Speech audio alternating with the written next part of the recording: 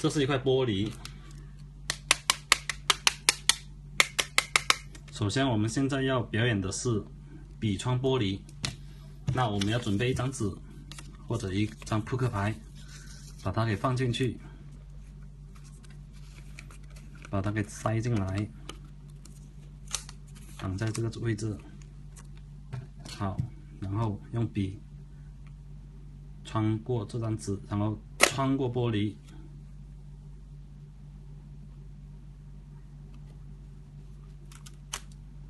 好，现在把这个给抽出来，